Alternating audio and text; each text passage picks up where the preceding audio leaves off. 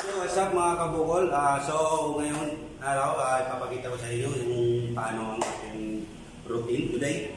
And then, ito, uh, ay 50 kilos, ay kabilaan siya, so 100 siya.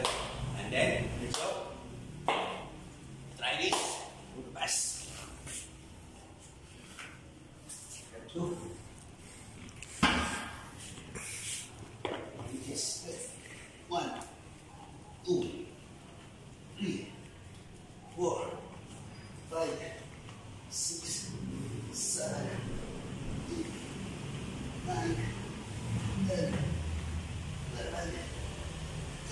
Okay. So, kanon lagi guys, dapat 3 set and 12. Dapat ganun lagi. Every day, every...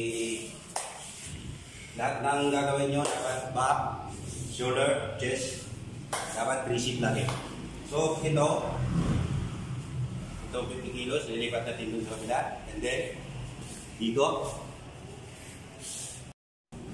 So, ayan mga kabukol, ah, tapos tayo dun sa kabila, at dito tayo sa incline.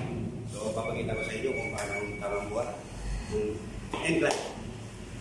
So, lahat ng pagka nagtitikay kayo, dapat 3 set lagi. And iba't ibang set every day para hindi kalat yung ano. Okay, go. Go.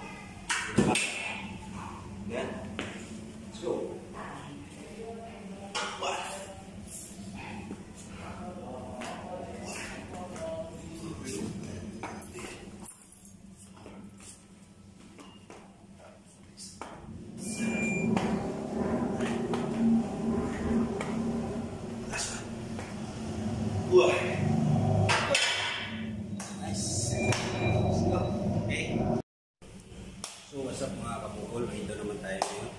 Ah, Mag-decline tayo ngayon. Kasi tapos tayo sa dalawa. Okay? Go.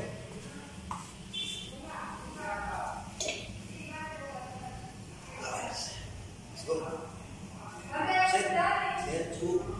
One. Okay. One.